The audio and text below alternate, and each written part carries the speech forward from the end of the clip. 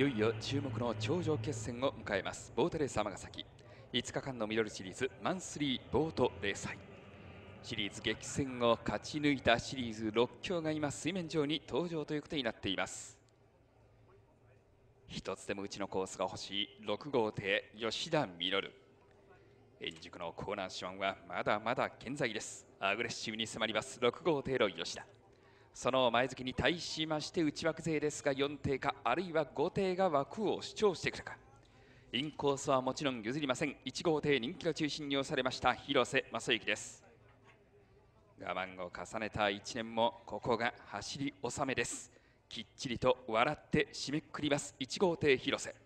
そしてこの外にコースに2号艇でしょうか山田亮太。講師充実。今密かに成長期です。2号艇山田。そして3号艇山室信弘がセンター3コースから。ここ一番他を圧倒のオーラを放ちます。3号艇山室パワームードは抜群でしょうか。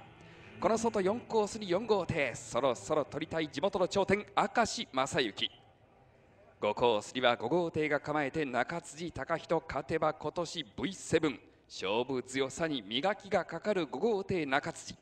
6号艇吉田稔が6コースに回って3対3のスタイル。第12レースマンスリーボートレース杯の優勝戦。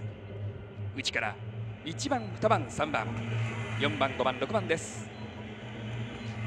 スタートしました。わずかに好タイミングを決めてきたらばダッシュから4号艇5号艇あたりが1周の1マークにありますが2コースからは2号艇山田も伸ばしてくる。イン1号艇の広瀬が懸命の抵抗も流れた。スパッと切り込んだのは4号艇か明石。バックセッジ入りまして先頭はスパッと切り込んだ。4号艇です。明石正幸。2番手争いは5号艇と2号艇。インコース5号艇の中辻。アウトからは2号艇山田。なおスタートは前提正常でした。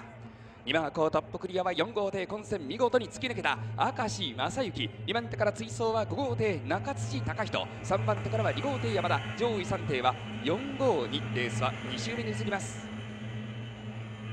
2周の1マーク先頭は4号艇高ダッシュを決めて1周1マークの混戦をズバリと切り込んだ4号艇明石正幸2番手からは5号艇中辻で3番手に2号艇の山田上位3艇4号に。4番手は3号艇山室。5番手からは6号艇の吉田。最高峰が1号艇の広瀬となっております。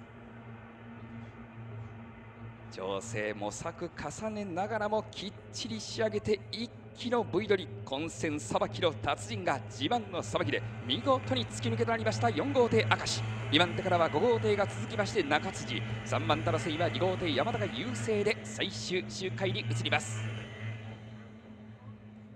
なんとなんと9年ぶり通算7回目待ちに待った久々の V ゴールが見えてまいりました。この4号艇の明石正幸そして練習も努力も重ねたここセンタープール地元の尼崎では初の頂点ということになりそう。決して耐える地道な努力が今最高の勝利となって花開きます。先頭は4号艇の明石。5号艇の中辻が2番手。3番手2号艇山田上位3艇は4号に。後輩と先頭4番の明石優勝の五輪。2着5番の中辻五輪。3着2番の山田五輪。3番五輪。